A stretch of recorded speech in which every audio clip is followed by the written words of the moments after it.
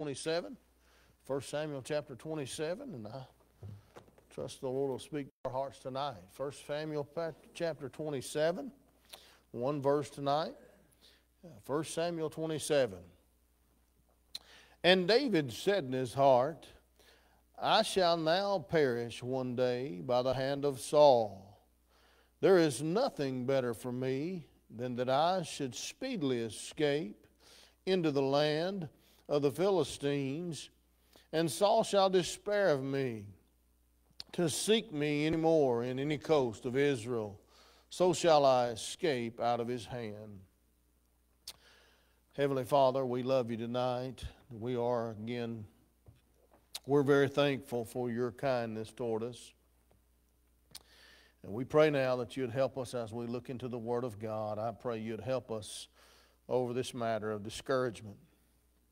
You'd help us see how the devil would want us discouraged and defeated, Lord, uh, to stay that way. But I pray, Lord, that we would uh, just get a hold of the reality of the Word of God and you would spread the joy of the Lord in our heart, life, and in our church. And Father, we would uh, get past the discouraging days that we face as a church, as a nation. I pray for your protection upon Israel, Lord. I pray you would uh, work and move. And I know thy hand is already involved in this situation. And we pray that you would bring it all would bring uh, glory to thee. We'll love you for it in Christ's name. Amen. I want you to notice David is discouraged. Now, the devil uh, was going to do everything he can do to get you and I derailed from the will of God. And uh, many times uh, he'll do it through uh, maybe just getting our mind on the wrong thing or getting us involved in the wrong things, and it doesn't always have to be a bad thing um, to get you out of God's will and to get me out of God's will. Uh, I'm thinking of uh, situations. You know, there's nothing wrong with uh, playing ball. Amen. I mean, I don't know about you, but I loved. I used to love to take a, ba- a baseball bat and a glove and play uh, baseball. And uh, we've even before, it's been a long time ago that we played uh, church softball, not, not in a league, but in our church. We may have a game every now and then. You know, those things are fine, they're very good in their own place. Uh, but nowadays, we have things that will derail us and get us out of God's will. And they're not bad things. Amen. We just, uh, we don't get, we, somehow or another, we, we mix up the priorities of, of our Christian life. And it, it happens. It can happen to the best of us. Amen. We got to be uh, aware that that's one reason why I'm very grateful for the, uh, the verse that we've been quoting. Uh, somebody said, We've been quoting it, we're not seeing nothing change. Well, you got to be careful one thing. Be careful the Word of God. The Bible said it doesn't come back void. And uh, we need to remember the Word of God. We're, we're practicing and honoring God's Word and the Lord is going to do what He's going to do in His own time. Amen. Uh, but we're not careful, we'll get derailed and get and get uh, out of God's will in, in, several different ways. And I'll tell you, for a preacher, what can be you can get too busy and not be studying in depth like you're supposed to. See, that's my my number one responsibility here is to feed the flock of God. That's my job, and to feed God's people the Bible and now the devil would love to get me involved in the, in the things of my work, which I'm supposed to work. That's not a bad thing, working, is it? Uh, but it can, it, can, it can develop into something that's against God's will, and that where uh, that's when it would become sin for me. Now, you don't have to uh, believe this. You don't have to, but I have disciplined myself. It's going to be a 911 for me to think about doing anything on Sunday if it's got to be. I'm not going to physically do nothing. It can wait. Now, listen, now, if we had a church water line bust or something like that, of course we would fix it. Uh, but you got people nowadays, I'm telling you, that claim to be Christian and they're mowing their grass. I didn't get here, man. I didn't get off a lawnmower till later. Are, you kidding me? You got your priorities mixed up. Hey, man, come on. You wouldn't have told your boss that on Monday morning that you was on the lawnmower. uh, you got your priorities mixed up. But I, th- I think you see my point. We can get derailed or, or pulled away from the will of God with many things. Amen. I love to deer hunt. I do. I don't. I shouldn't say love. I enjoy it. I don't. I used to like it more than I did. You wouldn't catch me hunting on a Sunday for nothing. It's not going to happen. Even in between. Even in between services. No way. Uh-uh. I'm not doing it. You can do it if you want. I remember a boy come up to me and he said, Preacher, it was down there in the middle of Georgia. He said, I, I got you on a big buck. And I said, Well, he said, I've got him moving. I've got him on a camera. He said, uh, he said, uh, You can go and you can hunt and you can be back in your office before Sunday school and it'll be over with. And I said, Well, I'm not going to do that. And sure enough, he killed a, a 12 point um, a monster. I wouldn't do it. He killed him. He killed him the next day. I'm not doing it. I am not going to put things out of priority to get out of God's will. I'm not going to do it. I believe God wants us to be that way. We ought to be that serious about the things of God. Amen. And when we are, we stay on track. Well, sometimes things can get us get us off track. And when they get us off track, uh, the devil loves it. He can use, I'm just, I'm illustrating, the devil can use good things to get us away from God's will, is what I'm trying to say. Uh, but there, when, when, when he can't do that, when we've, when we've matured and we've come to the place that we're, we're just, we'd rather serve God and uh, obey God as obey man. Amen. There's a scripture that says that. We'd rather obey God as obey man. And the devil can't get us down or he can't defeat us or he can't get us out of God's will. You know what he does? He wants to bring discouragement. And that's what I want to talk about tonight. And with discouragement comes a few things that can be painful as an individual or as a person. I want you to notice, first of all, that David is discouraged. If you can't see this in chapter 27, friend, uh, God has just give him victory, a major victory. He is in God's will. Did you know sometimes the will of God is not always, uh, you know, happy? It's not always a joyful time. There's sobering times, there's serious times. This is a very serious time in David's life. And uh, God's will is not always going to bring a smile in my face. Now, I don't understand it, but I'm not going to indict God with a thought that God's not doing good in my life when it just doesn't go my way. Now, there's sometimes we don't like it when things don't go our way, and our attitude can be wrong. Amen. I didn't say yours, I said our attitude can be wrong and we can get out of God's will. We'll have to get along somewhere and apologize to the Lord and say, God, help me. And we get back in God's will.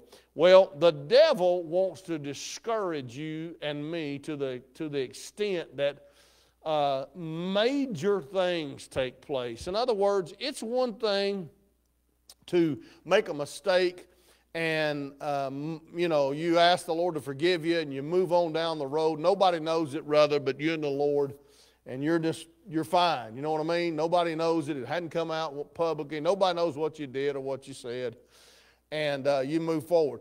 But when the devil can get you discouraged, and he can get me discouraged, major problems come. Now listen, this is a a a tool that he uses often, and it is very, very, very effective when the devil can get us discouraged. And I want to talk that. I want you to look with me. Go back to chapter 21, verse 1.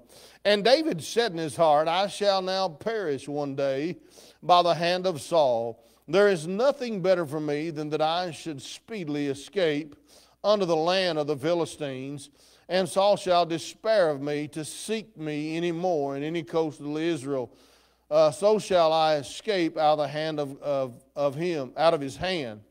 I, I talked to you a little bit about how that uh, when David was discouraged here, he had gotten discouraged, first of all, uh, because his prayer was wanting. Do you remember that? There wasn't prayer in his life. David said in his heart, he begins to think along the line and be, he begins meditating. Now, here's someone meditating that's not meditating on the Lord uh, David said in his heart, he's meditating. He's thinking on his circumstances. He's thinking on the things uh, that he's facing. And, and we're all going to do that, and there's nothing wrong with that as long as we don't dwell on them to the point that we begin to indict God. And David said in his heart, I shall now perish one day by the hand of Saul. Uh, there is nothing better uh, for me than that, that I would speedily escape into the land of the Philistines, and Saul shall despair of me. Do you see? His prayer was wanting, I, I said that. Uh, there wasn't no prayer in his life. He, his patience was worn. Do you remember that? When you begin to do things fast, and he said speedily, uh, you can tell he's making mistakes here. He's not thinking right. That's why it never is, you're never wrong to take time to pray and evaluate things. You can't make a mistake by taking time and praying. But I want you to know he's discouraged. And in the midst of discouragement, distortion comes. Uh, that's what the devil wants to do. Discouragement breeds dis- distortion. In other words, when you're discouraged, the Bible said, and David said in his heart, I shall now perish one day by the hand of Saul. Did you know 20 some odd times Saul had tried to kill David and God had protected David? But David is, uh, he's got his problems, don't misunderstand me. But when you get discouraged, you, along with discouragement comes distortion uh, you exaggerate, discouraged people exaggerate the problem. Discouragement is always going to exaggerate the problem. And what I mean by that is this this uh, distortion. David's not looking at this thing right. He's, he's been in it long enough. He's discouraged from what's going on. The devil's got him discouraged. And all he can see, look, all he can see is Saul killing him. But did you know what? There's not an ounce of proof that this is going to happen. Now, what had God promised him? God had promised him the kingdom, right?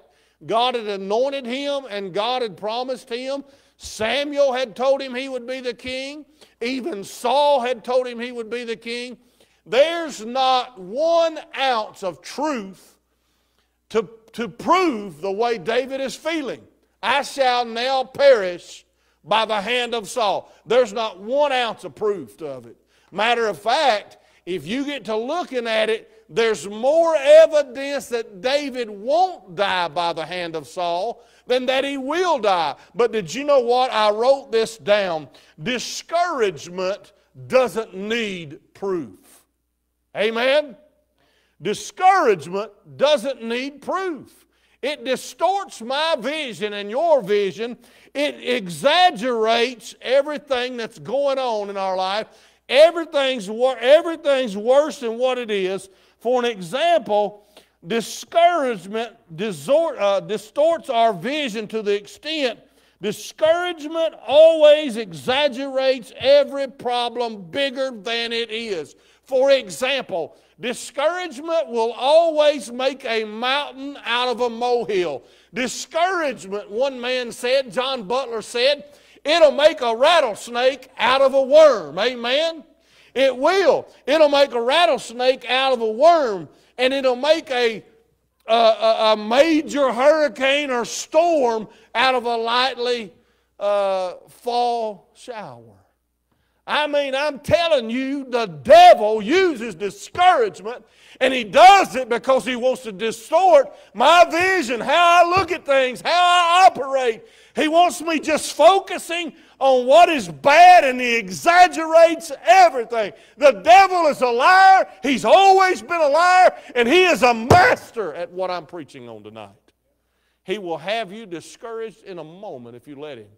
Discouragement wants to block my vision. Now look at what da- all David can see, watch this, is death from Saul. Watch it. And David said in his heart, verse 1, I shall now perish one day by the hand of Saul. His mind is determined and made up. Discouragement has got him so focused, he's convinced that he's going to die by the hand of Saul. And uh, I, I wrote something down about this. We better be very careful when we're discouraged and we're convinced of some things. May I help you just a moment, please?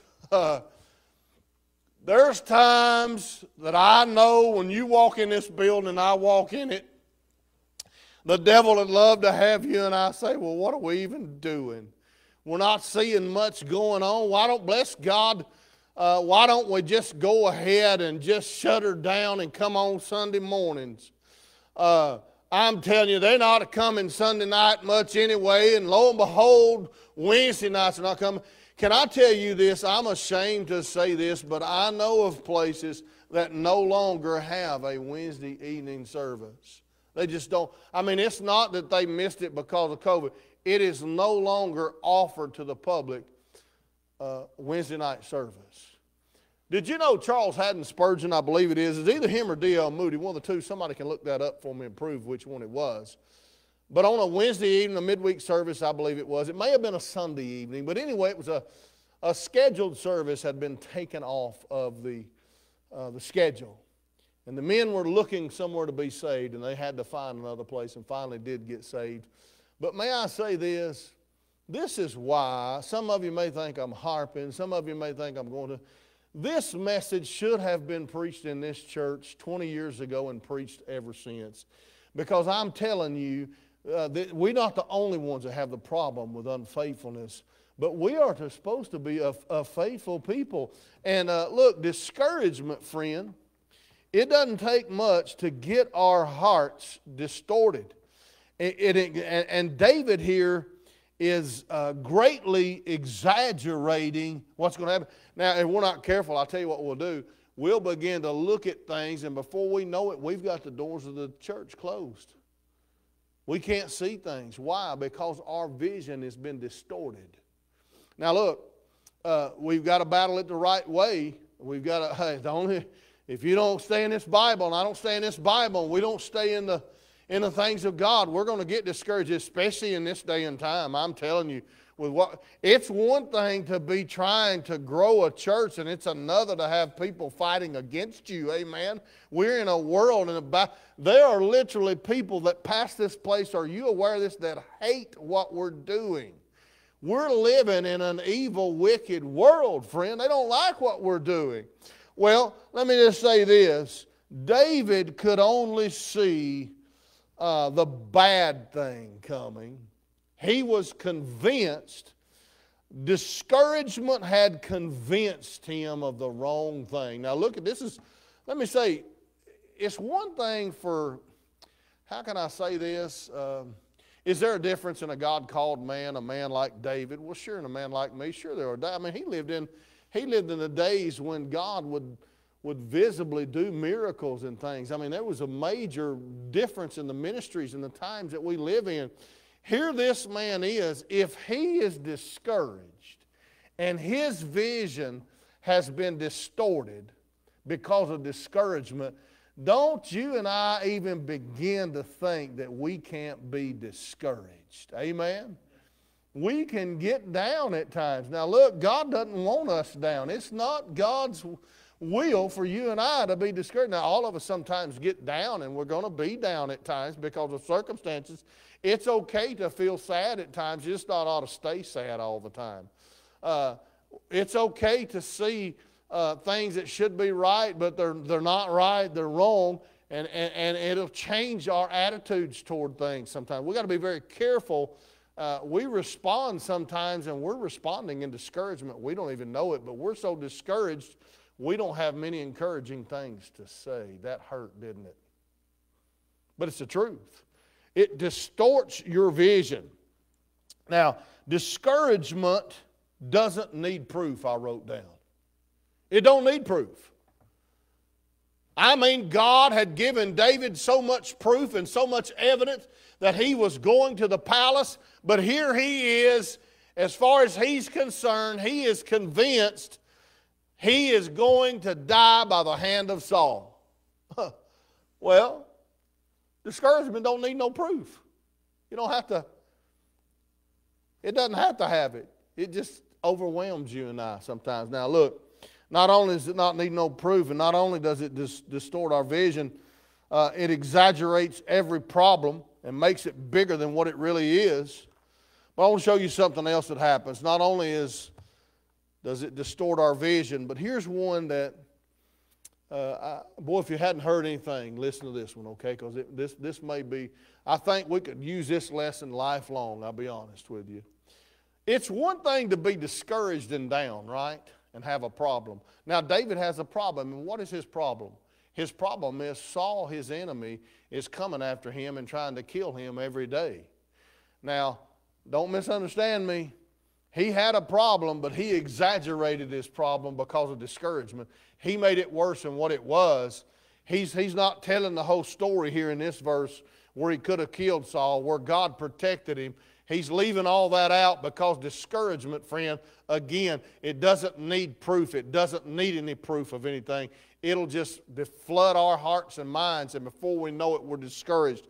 And when we get discouraged, what happens? Our vision is distorted. Now, here's one that, that I want to labor on just for a few moments, and I'll let you go. Uh, but do you ever heard somebody of being delusional? Do you know what that means? Let me give you just a little bit of uh, thought here. It means that uh, sometimes if you're a delusional person, you can have false beliefs, basically. Uh, you can have you can make easy mental mistakes. Uh, you can uh, uh, take things, false judgments, and make them a reality. You think that this is exactly what you need to do. Now, look, when you and I get discouraged, we want to solve our problems that we're facing in life. All of us do, and that's natural. God wants us to be able to solve our problems. But I want you to notice David here is trying to solve a problem. He can't dissolve it because his vision has been distorted. But here's the problem he's become delusional. What do you mean, preacher? Well, let's look at the text. Let me give you a few thoughts and I'm going to let you go. First of all, uh, when, you, when you have difficulty in the Christian life, uh, most of the time, I heard Dr. Ralph Sexton say this the other day. Uh, I would encourage you, if you can listen to that message that I, quote, I put on Facebook, to listen to it. Uh, we don't hear much preaching like that. He said he looked at the other day, he was preaching, and he said he come out and he said, I've come to a reality. And you know what it is? He said, I am sick of me. Oh boy. he said, I'm sick of me. I'm always doing this and doing that. And I, he said, until you get sick of me, you're going to make delusional mistakes. And when you get to thinking about the Lord, David here is so discouraged. He's going to try and solve his problem in a delusional way because you know why? He's not seeing right. He's not thinking right. His head is not geared right toward God's will. What's your Bible? Look with me in verse 1. And David said in his heart, I shall now perish one day by the hand of Saul. There is nothing better for me than that I should escape into the land of the Philistines. Now, I want to stop right there. Uh, one man, I think it's uh, J.R. Riley, one of these men that made a statement, uh, it might be, uh, I'm trying to think, maybe I'll, it'll come back to my mind who made this statement. I'd like to give the right man the credit. But he said, David comes out of his heart and he said, There's nothing better for me. Listen, there's nothing better for me than that I should escape to the Philistines. This man said this You talking about a major problem with that statement. That statement should be read this way There's nothing worse for me than that I should have flee to the, escape to the Philistines. Uh, if you have your Bible, you don't have to turn there, but you can write this down. 1 Samuel 21, 10 through 15, he had done already tried this remedy. He had already tried to solve the problem of Saul killing him by fleeing to the Philistine nation. 1 Samuel 21, uh, verse 10 through 15. You can look at that uh, if you get a little time of study. So he'd already made that stupid mistake. But here he is again, and he said, There's nothing better for me than that I. In other words, I don't see no other alternative. This is the best decision I got. The best thing I can do is flee to the enemy and allow the enemy to protect me. Oh, me. One man wrote this down. He made this statement. I thought this was good thought. He said, Why didn't David think about fleeing to Moab? where he had relatives, where he was loved and he would have been treated right. He could have went to Moab and they'd uh, uh, ushered him in with open arms and he would have been successfully protected. But you know why David wasn't thinking like that? He was delusional because of discouragement. You don't make the right choice when you're discouraged. When you're discouraged and I'm discouraged, we make wrong choices. We make wrong decisions. Uh, you shouldn't have confidence in the decisions you make when you're discouragement. Discouraged people, listen to this, put confidence in unsound remedies. Discouraged people put confidence in unsound remedies. I don't want to be discouraged. Do you? Now, may I ask you this question? Once you and I get past discouragement and things like what we're facing as a church, do you realize how strong for the Lord we can be? Do you realize what God can do through our lives? I want to see this place flourish. I just like you. I want to see people come in. I want to see people be faithful. Uh, but you know what? When we come to the end of us, like Brother Ralph said, I'm sick of me. When we come to the end of us and we begin to approach the beginning of God, what does God want? What is God's will? Have you ever thought about that? Do you realize here there's not a shred of evidence that David's going to die from the hand of Saul? But because of his discouragement, he can't see clearly, his vision is distorted, he's going to do something delusional. Now, I've said all that to say this, and I'm going to close here. We need to be careful with what we're faced with as a church.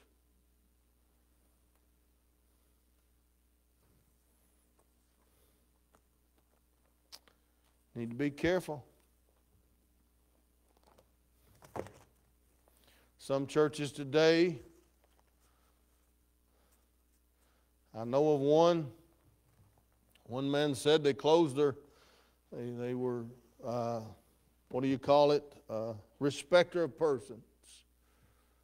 Only willing to reach this one, only willing to, only willing to reach that one. Could you imagine of a local news person getting a hold of some things that we've discussed?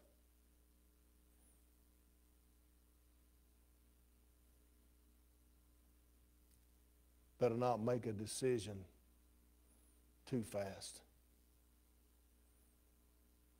Might want to slow down and just what I call sometimes when I, uh, I don't call it buying time, I call it listen. Did you realize we're not forced to make decisions? Sometimes we are on our job, I understand it. Sometimes life does force us to make decisions. But when we don't know exactly what to do, just to come across with some, and, and don't misunderstand me, I appreciate uh, human wisdom at times. But there are times in life when we need divine wisdom. We need it often. And divine wisdom is far out past human wisdom. Divine wisdom, literally, a lot of times, totally conflicts with human wisdom. Matter of fact, my proof for that verse is this My ways are not your ways, saith the Lord, neither are my thoughts your thoughts. God said that.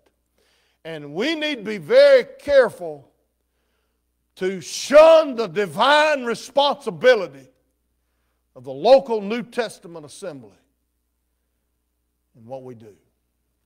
Very careful, very tactful, filled with wisdom. We need God, especially in this day and hour. I love Him tonight. Don't be discouraged. Don't, uh, uh, in it, let's just be honest, a show of hand. I, I would say this is probably, if you agree with me, would you slip this? This is probably one of the easiest things that can slip up on me and you so fast, and we get discouraged. We uh, are. And may I tell you something? Can I use this to encourage you and we'll close? This is the Lord's work. This is God's work. Jesus shed his blood for you and I. We are his blood bought church. No one loves this place more than he does. And when we don't know what to do at times and we don't understand everything, man, just put it all on him. I mean, literally flood the throne of heaven with what's on your heart casting all your care upon him. People, some people don't even realize it, but that word care, it's referring, it's not referring to how much you care for God or how much you care for other people. He's talking about the anxieties, the cares of the world, the cares of the Christian life, the things that fill our hearts and minds day in and day out, some of the anxieties, some of the problems we have. He said, Cast your care upon the Lord, casting all your care upon him, for he careth for you. Amen. It's been so good to be in God's house. I'm thankful, so thankful for your faithfulness. Be in prayer much for these that are away from us, and may the Lord bless you throughout the week.